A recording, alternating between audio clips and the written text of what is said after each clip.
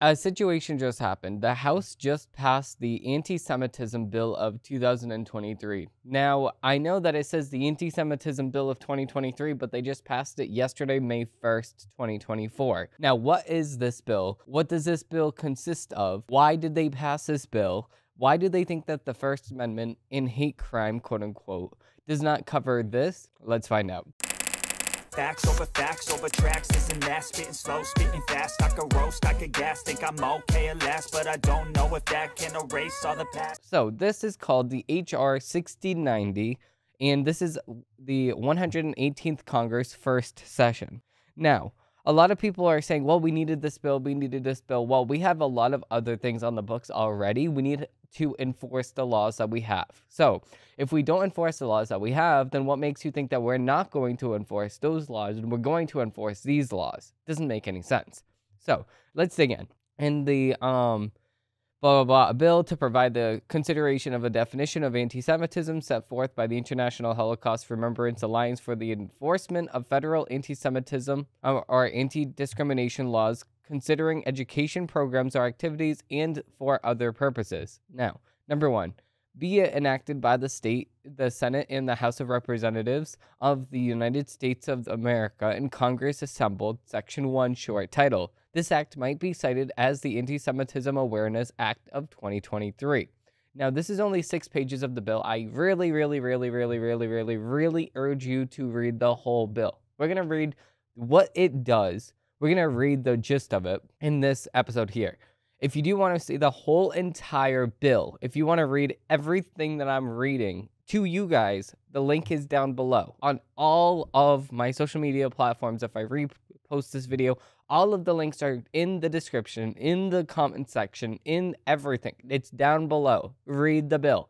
So, it is the sense of Congress that, number one, Title 6 of the Civil Rights Act of 1964 42 USC 200, 2000D ES squared um, prohibits discrimination on the basis of race, color, and national origin in programs and activities receiving federal financial assistance. Now, that's the point that I was going to make. This is already on the books. Colleges cannot discriminate based on any of these things race, color, national origin, at all at all because they're receiving they're receiving federal uh, funding so that means that they need to abide by the First Amendment. Now, this says that while the such title does not um, cover discrimination based solely on religion, individuals who face discrimination based on actual or perceived shared ancestry or ethnic characteristics do not lose protection under such title for being members of the group that share um, a common religion. Discrimination against Jews may give rise to violations such as such as title when the discrimination is based on race, color, or national origin, which can include discrimination based on actual or perceived shared ancestry or ethnic characteristics. It is the policy of the United States to enforce such title against prohibited forms of discrimination rooted in anti Semitism as against all other forms of discrimination prohibited by such title, and as noted in the United States National Strategy to Counter Anti Semitism issued by the White House on May 25th, 2023. It is crucial to a. Increase awareness and understanding of anti Semitism, including its threat to America. Okay, so now we're not going to have a definition of anti Semitism that we're going to stick to, but we're going to say here that we need to understand um, and have an increase in awareness of anti Semitism, including its threat to America. Okay, so now we need to um, realize that this is actually a bad thing, which, okay, I can get behind. Increase awareness of what are we to, we're to teach this in schools and stuff like that. I already remember that the only thing that we talked about w- with Nazi Germany in my whole entire school system, because I went to public schools, was the boy in the striped pajamas. We watched a movie on that. That's the only thing that we talked about. We didn't talk about what Germany did. We didn't talk about any of that. Um, we watched the movie, and that's how I realized real quick. So, B, improve safety and security for Jewish communities. Okay, so what are they going to do here? Are they going to have federal funding for um, officers in the communities and stuff like that, or are we going to have um, are we going to have more security at places of worship for Jewish communities? Are we going to do that because it's been targeted? So it's just broad. Why are we going to have a broad bill? Um, reverse the normalization of anti-Semitism and counter anti-Semitic discrimination. Okay, so what is an anti Semite and what is anti Semitism? Do they have a definition? That's what I want to know.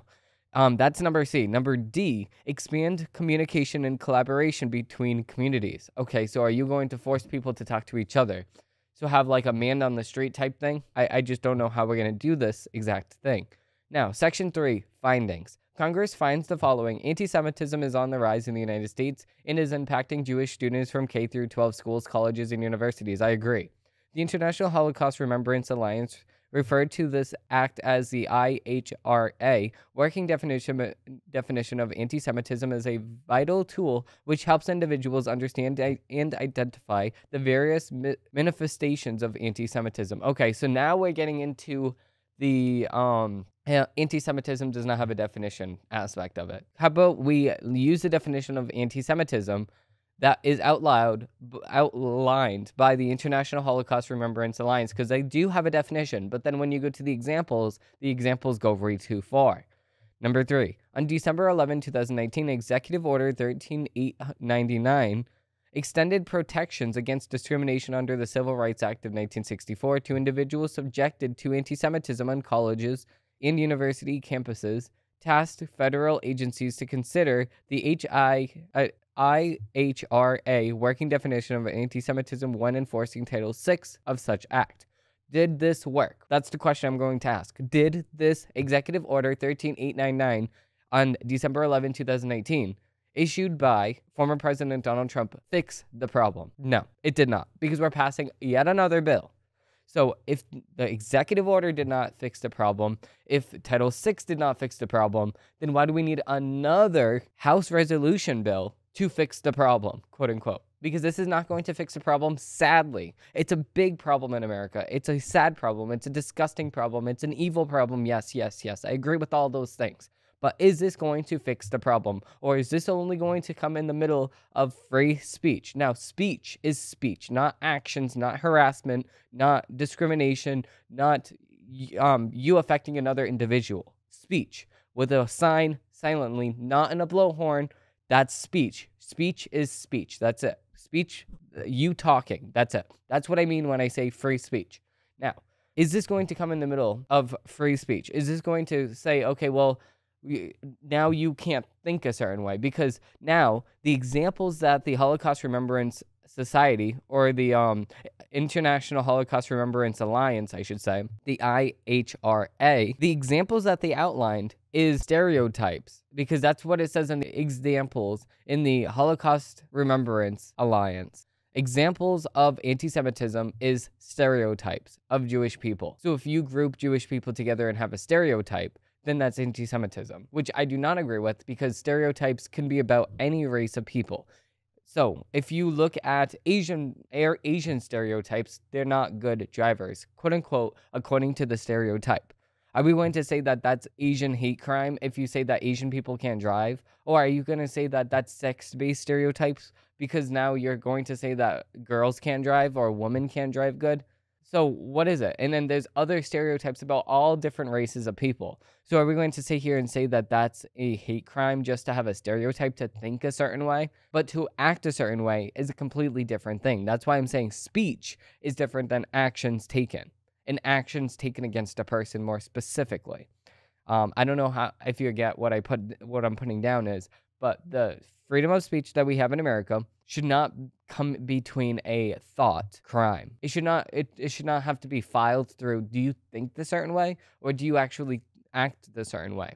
It's the actions that you take that are going to be um are that are going to be um you know evil and do i agree with um some of these people do i agree with what they're saying no but at the same exact time you you should have the right to say certain things. You should have the right to say certain things. And of course, the freedom of speech does not say, okay, well, if you're harassing something or somebody, you cannot go out and do that thing. Obviously, you cannot go and make threats against another person. You cannot go and do that because, yes, that's quote unquote speech, but some speech is not acceptable. But there's some speech just talking in general, sharing your opinions, um, as long as it's not hurting another person then that's fine. And a stereotype does not hurt another person unless you're actively making fun of them in which case that's just rude behavior and it should not be accepted in society. And that's the key in society. In society and government are two different people and it should be separate. Now, um, the rise of alternative definitions for anti Semitism impairs enforcement efforts by adding multiple standards and may fail to identify many of the modern manifestations of anti Semitism. Okay, so what is anti Semitism? Because we need like a Matt Walsh, what is a woman type documentary on what is anti Semitism. Because you look at the, like I said, the um, IHRA, which is the Hol- International Holocaust Remembrance Alliance, and you look at their definition, which I agree with their definition. I, I agree fully with their definition.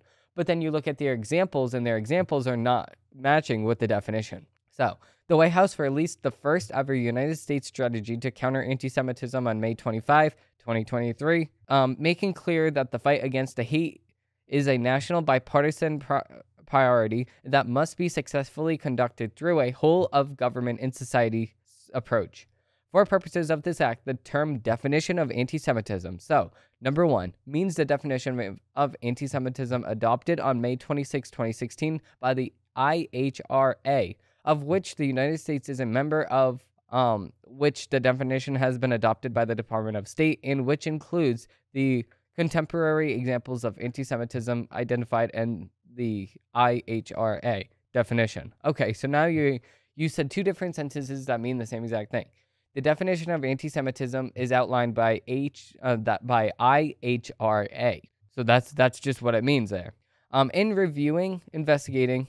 Okay, so I guess let's look at the um the IHRA definition of anti-Semitism because I the last time that I looked at it, um, I agreed with it.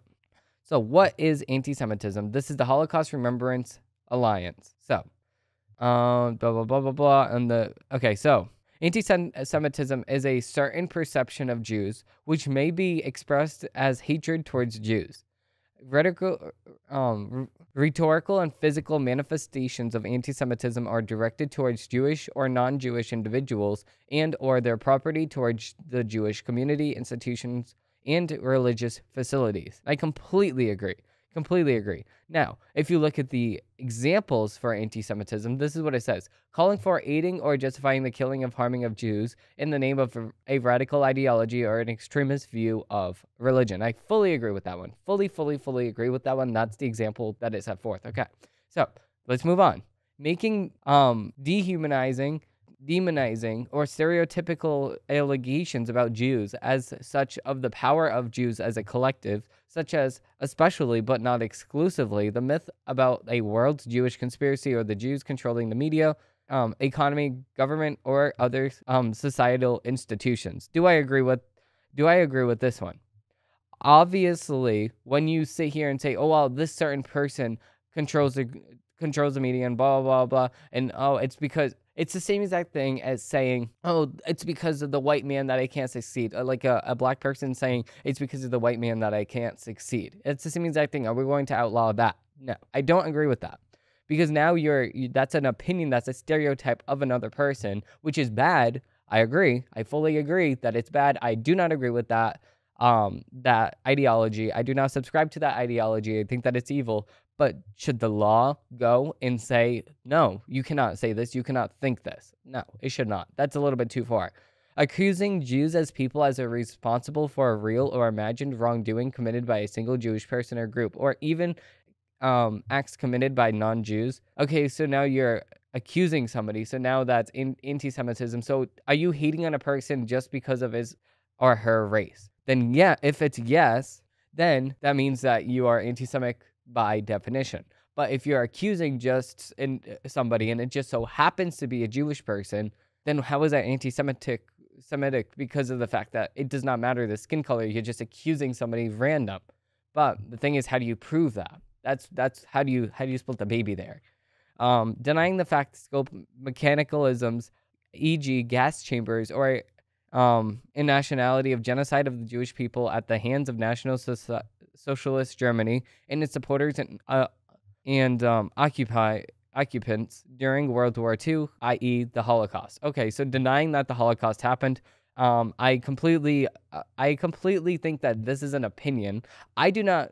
I'm going to say this again. I do not subscribe to this. I do not think that the Holocaust never happened, as some people like to say it. It's disgusting. It's a disgusting ideology. But are we going to have a a thinking crime bill? Are we going to sit here and say, okay, well, if you don't think that something happened, then you will be prosecuted by the by the law. But if you do think that this happened, then you will not be prosecuted by the law. How about we educate people and then we can worry about how they think afterwards. Um, accusing the Jews as a people or Israel as a state or inventing or exaggerating the Holocaust. Okay, so now you're you're um see these definitions here. It, I agree with some of them. I, I agree with this one. Of course, um, inventing the Holocaust or exer- exaggerating the Holocaust. Again, we need to re-educate people. We need to sit here and say, listen, this is the facts outlined by actual reliable sources here. It did happen. All of these people died. Where the hell are these people then if the Holocaust never happened? That's stupid. Um, accusing Jewish people, citizens, of being more loyal to Israel. Okay, so obviously that's just being a jerk. Um, that's just being a selfish person. That's being a self-centered person. That's being an ass. That's what that's what kind of person that this is outlining. Are we going to prosecute people for being an asshole? Are we going to prosecute people for being a a um dick? I don't think that we should. Um, denying the Jewish people have their their right of self determination, uh, e.g., by claiming that the existence of a state of Israel is a racist is a racist endeavor. Okay, so now you're saying that the state of Israel should not exist. If you are saying that you're anti-Semitic, I think that that I think that I agree with this. Um, if there if there was a couple of um, I mean, I see the thing is how do you split the baby? You're saying that these opinions on on somebody else should be against the law. That's why I'm getting into the nitty gritty about this. The definition of anti-Semitism is hating a person just because they are Jewish. It's the it's a certain perception of Jews which may be expressed as hatred towards Jews, rhetorical and physical manifestations of anti-Semitism and directed towards Jewish or non-Jewish individuals and or their property towards the Jewish community institutions and religious facilities. If we kept it like that, then I fully agree. That's why I'm saying the examples of how you can split the baby and then stuff like that, it's just crazy because now you have to act in the court of law as another person to say, okay, does this match the definition? Mm, I don't really think it does. I really think that it doesn't. And you're going to have this big debate about it. That's why I'm saying that it's going to open up a can of worms if we leave those examples as they are. But if we removed the examples and just left the definition, then that's going to be up to the um the court to decide if that is anti-Semitism or if it's not anti-Semitism. That's why I'm so saying that it's such a challenging thing because the examples that it set forth. So, um, Section 5, Rule of the, the Construction for Title 6 of the Civil Rights Act of 1964. So, in reviewing, investigating, or deciding whether there has been a violation of Title 6 in the Civil Rights Act of 1964, 42 U.S.C. 2000 D EC squared on the basis of race, color, or national origin based on the individual's actual or perceived shared Jewish ancestry or Jewish ethnic characteristics the Department of Education shall take into consideration the definition of anti-Semitism as of the as part of the department's assessment of whether the practice was motivated by anti-Semitic intent. Now, I completely agree with this. They're going to take the definition outlaw outlined by the IH the in, the uh, the Holocaust Remembrance Society. They're going to or alliance, I should say. They're going to take that and then they're going to see if it actually violates the law. Okay, I completely agree with that. I completely agree with that. So, Section 6 Other rules of the construction. General rule of the construction. Nothing in this act shall be construed to expand the authority of the Secretary of Education. Okay, so now I thought that we were just talking about educating people on on on the Holocaust and on anti-Semitism as a as a um as a thing here. So now we're going to not say that this has the authority to expand the Secretary of Education. Okay, so are we going to, how are we going to teach people then? Uh, okay. To alter the standards um, present to which the Department of Education makes a determination that harassing conduct accounts to actionable discrimination or to diminish or infringe upon the rights of protected under any other provision of the law that is infected, that is in effect as the date of this of enactment of this act. Constitutional protections. Nothing in this act shall be constructed or diminish or infringe upon any right protected under the First Amendment of the Constitution of the United States. Okay, so now we finished that with that. So that's very, very interesting here. So now you say that you have the right of speech. But then we just said that anti-Semitism is a is a problem and that anti-Semitism is quote unquote, anti Semitism is a certain perception of Jews which may be expressed as hatred towards Jews. So if you say a certain thing, just like if you look at the examples, that's saying speech. So now you're saying that that it can't come in between freedom of speech. So now this is only actions taken against Jewish people. So now we're just putting a hate crime bill on here.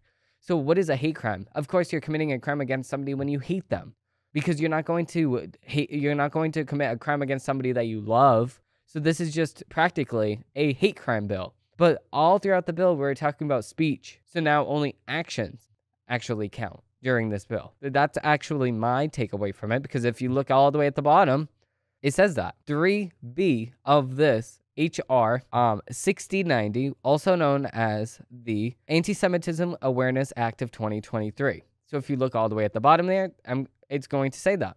So th- this is just very confusing here. Um, obviously, it's trying to say two different things. It's trying not to get in the way of freedom of speech, but like I said at the beginning of this, actions taken are not speech. Actions, you doing something, you harassing somebody, you having a blowhorn, you camping on the college campuses, you um, camping outside, stuff like that is not freedom of speech. You a porn is not freedom of speech. What are you conveying? When you convey speech, that's freedom of speech. Now, with that being said, that's going to do it for my breakdown of this bill. I what I would have liked to see a bill that exactly sticks with the definition of anti-Semitism outlined by the Holocaust Remembrance Alliance. But since it does not, I don't think that I can accept this bill. But then at the same exact time, it says actions taken um, only. Practically, it says that.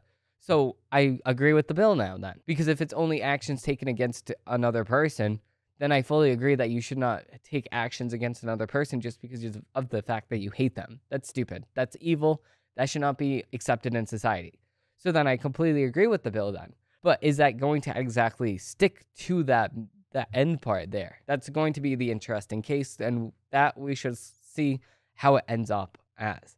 With that being said, that's going to be my breakdown of this bill. Very, very interesting bill. Very, very interesting um, that they wanted to pass this now because of the college campus um, situation, stuff like that. It's very, very interesting. But I guess I'm going to keep you up to date on any laws that involve this bill because that's going to be an interesting example on how the court will actually handle this bill. So, with that being said, we're going to come out with a full episode of my show d- tomorrow, the Demetrios Araujo Show. This has just been the deep dive of this bill.